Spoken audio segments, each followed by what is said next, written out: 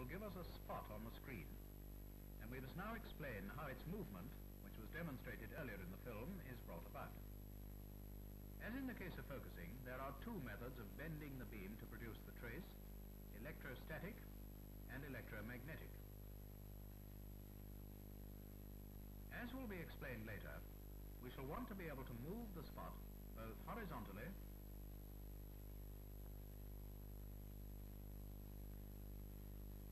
and vertically. And so we will need two deflector systems, horizontal and vertical. With electrostatic deflection, a pair of plates is used for each movement.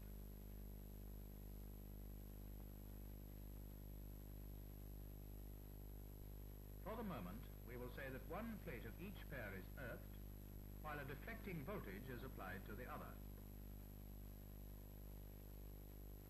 Consider one pair only, with the upper plate at a higher or more positive voltage with respect to the lower.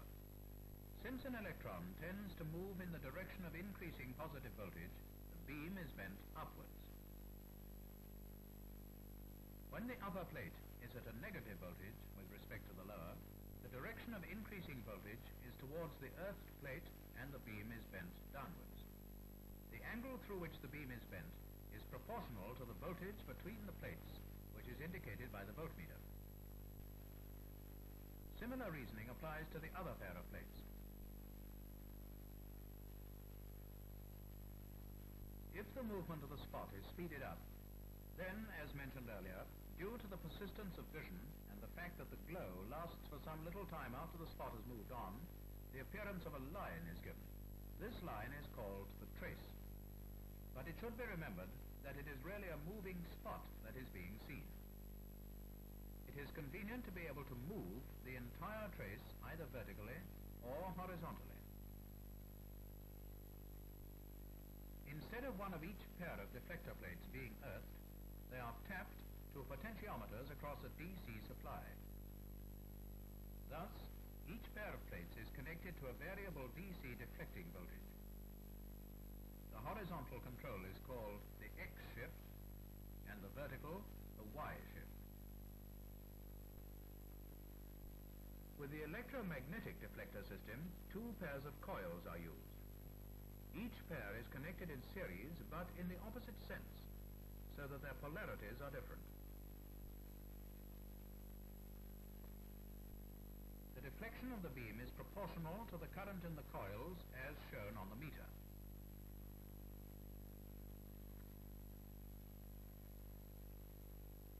The beam is deflected in a plane parallel to the plane of the coils, in contrast to the electrostatic system where the beam is attracted to the plate.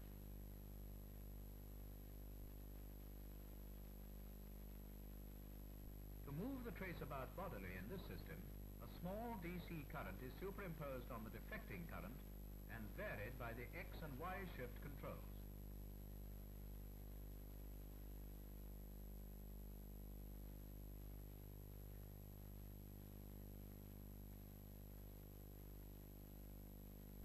Considering again the tube with electrostatic deflection, as an increasing alternating voltage is applied between the Y plates, the spot moves vertically. Similarly, if an increasing alternating voltage is applied between the X plates, the spot moves horizontally. If both increases are started simultaneously, the spot moves both vertically and horizontally and so traces out a sloping line. However, we usually want to watch on a cathode ray tube more complicated variations such as those of an incoming signal with time.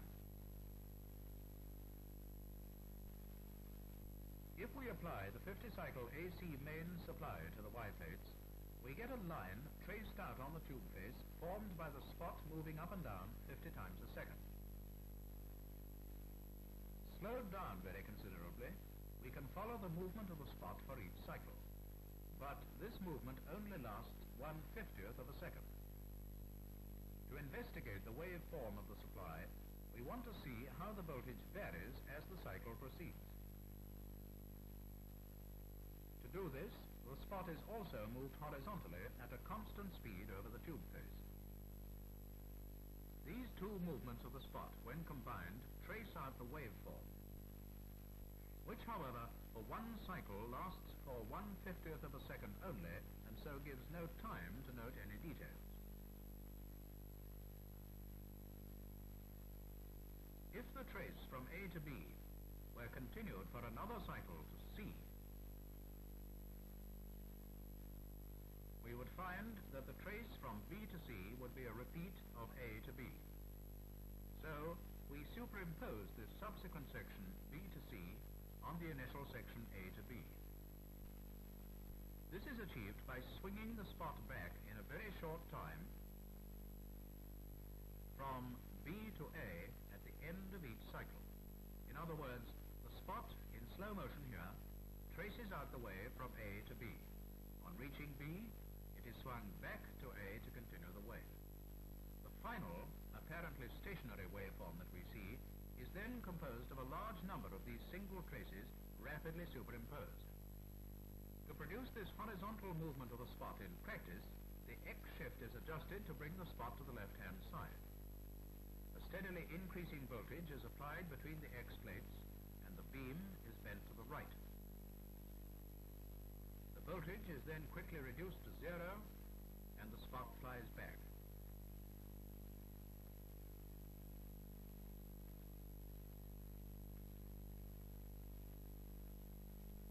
Condenser connected across the deflector plates is charged from a constant DC supply through a resistance. The meter shows the voltage building up across the condenser. It is arranged that the valve connected across the condenser will conduct when a certain voltage has built up across it. The condenser then discharges rapidly through the valve and its voltage drops to zero. The valve then ceases to conduct and the condenser charges up again. This is an elementary form of time base. More complex ones are usually used with the object of getting a more uniform voltage rise and achieving very high frequencies. When, as in this case, the time base is independent of the signal applied to the vertical deflector system, it is said to be free running. If the two systems are not in complete synchronism, trace moves along the tube face. They are back in step now. To prevent this movement, the operation of the time base is sometimes started by the signal, in which case the time base is said to be triggered. Returning to our diagram of the simple time base circuit, it is apparent that we will want to vary the velocity of the spot across the tube face, that is, the rate of build-up of the voltage across the condenser. This is dependent upon two factors in the circuit. The capacity of the condenser and the resistance through which it is charged. So that we obtain various fixed time-based speeds by switching in various condensers and allow for final adjustment of the spot velocity by using a variable resistance which is known as the velocity control.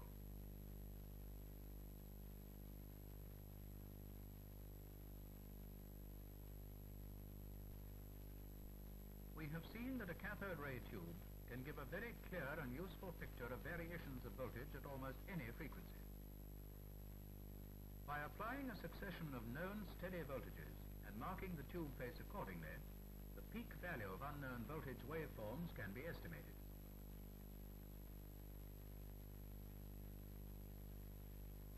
It is equally simple to study the current in a circuit, since if we insert a suitable resistance in series, the voltage across it will be proportional to the current.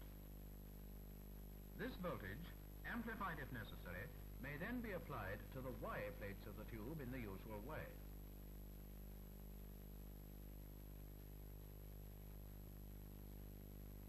As in the case of voltages, by passing a succession of known steady current through the resistance, the tube can be calibrated, and the peak value of an unknown waveform can be estimated.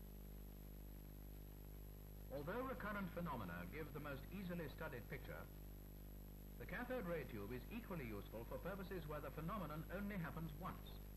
For example, we may wish to study the light output from a flash bulb. How long does it last? And when is it at its brightest? We arrange a photoelectric cell and amplifier to apply a voltage to the Y plates of a cathode ray tube, which will be proportional to the light flux. Flash may be ignited and the time base triggered by the same switch. As you see, the trace is gone before you can study it. Very well. We'll rig up a camera to photograph the tube face and so obtain a permanent record.